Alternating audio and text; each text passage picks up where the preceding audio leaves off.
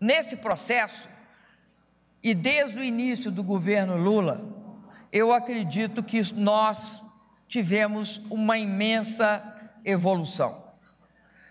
A primeira parte da evolução diz respeito à questão do financiamento.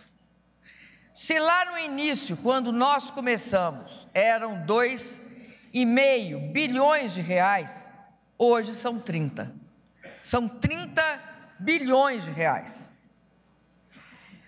A existência, a existência de financiamento adequado, e aí adequado é com juros subsidiados, o que muitas vezes irrita bastante alguns que acreditam que a agricultura familiar poderia ser deixada às livres forças do mercado.